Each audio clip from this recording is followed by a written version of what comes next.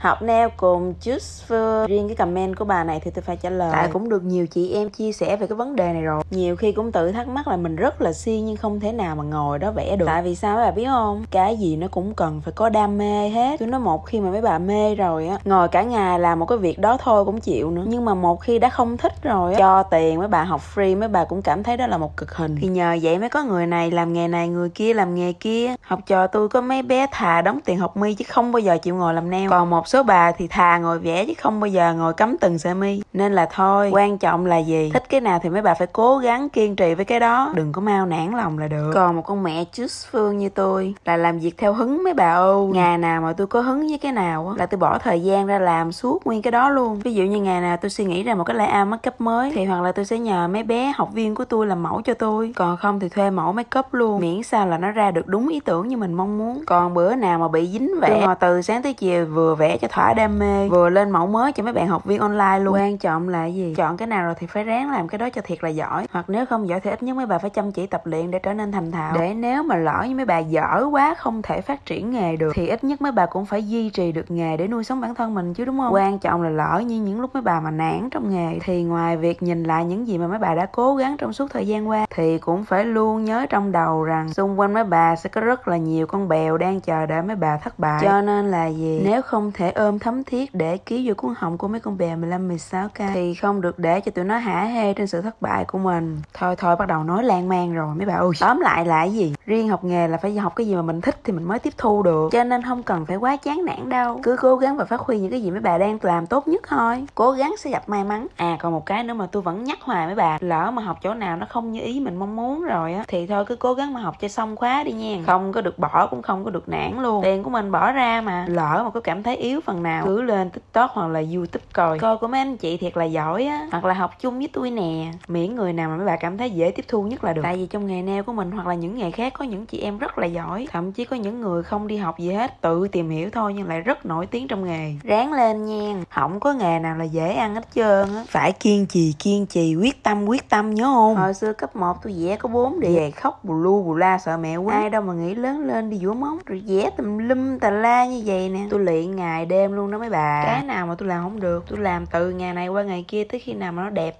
như ý tôi mong muốn tôi mới thôi á. Như con chuồn chuồn này nè. Không có đẹp lắm. Nhưng mà tôi đã vẽ ba con khác xinh đẹp hơn con này rồi